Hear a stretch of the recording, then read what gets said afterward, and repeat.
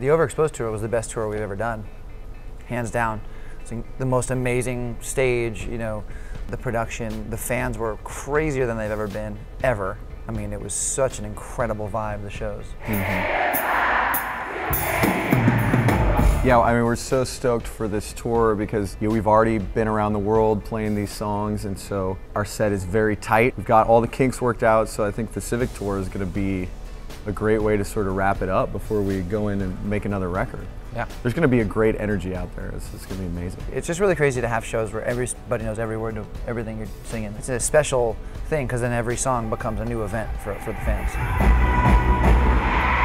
Yeah, even if you're a casual Maroon 5 fan, or even if you don't like Maroon 5, You will still- still, know half the songs. I love that we're getting to the point, which is awesome, where even people that hate us have no choice but to kind of know what we do. That makes me really happy.